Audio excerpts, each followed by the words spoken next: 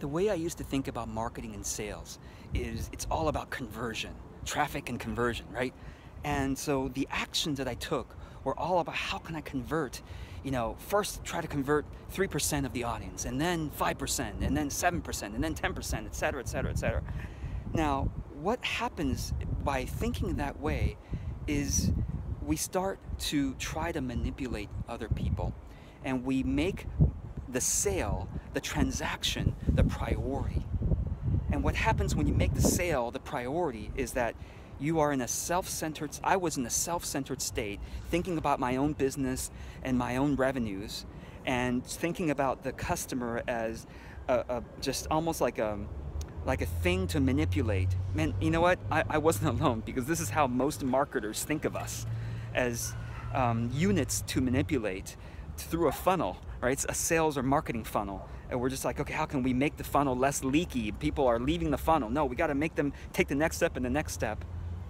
And I burned out as a result of doing that. I made a lot of money. Well, I made, you know, I made good money, more than most of my peers, but I burned out and my conscience was shot. I, I was so um, feeling not aligned and I'll be honest with you, I mean, when I had conversations with my peers who were doing that, and some of them are still doing it, in moments of honesty, they too felt like something wasn't right. It wasn't aligned. They felt like, yeah, I, I, if ideally in the in the world I wouldn't have to manipulate people, but that's how you marketing works. That's how sales work. No, it doesn't have to work like that. And in the past three years, I finally came to this new state of doing marketing, where here's the key: trust is more important than the sale. Building trust with my audience, truly serving them from my heart, and trust being the result, the natural result, is so much more important to me now than trying to make the transaction happen, trying to make a sale happen. And the, I think another key is that I'm now thinking long term. I'm thinking in terms of years and decades of my business and of that relationship with my audience rather than this month I've got to make my numbers. I think that's where a lot of people go wrong. And you might say, well, does that mean that the people who are focused on the transaction and the sale will be more financially well off and will be. No, not necessarily. I know lots of people who try to focus on the transaction and the sales who regularly fail financially, and yet I also know others who focus on serving the audience and building trust with them. And yes, of course, making an offer, a reasonable offer that is a good match to the audience. That's important. That's important for uh, whichever camp you're in. You know, whether you're in the transactional side, sales profit first driven, you need a good offer match with the audience. And if you're on the trust side, where it's all about service and being heart centered, you still need a good offer that is, you need to be selling something the audience wants. So that is same, either place.